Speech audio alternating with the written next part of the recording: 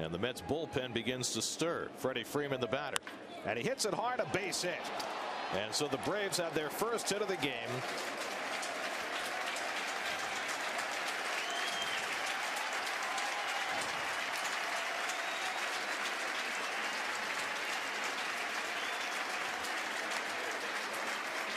Appreciation shown by the crowd here at Citi Field, well aware that the Mets have never had a no hitter in their history.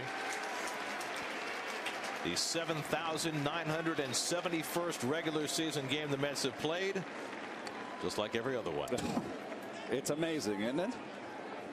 An organization steeped in great pitching and not a no-no. So now, how far are the Mets going to go with Niese now that the no hitter is not a concern?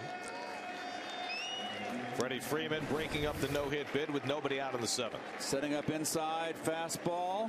It's in. He just down and turned on it. Remember his last at bat, the ball was in. It jammed Freeman. He was ready this time for that pitch in. Smart hitter.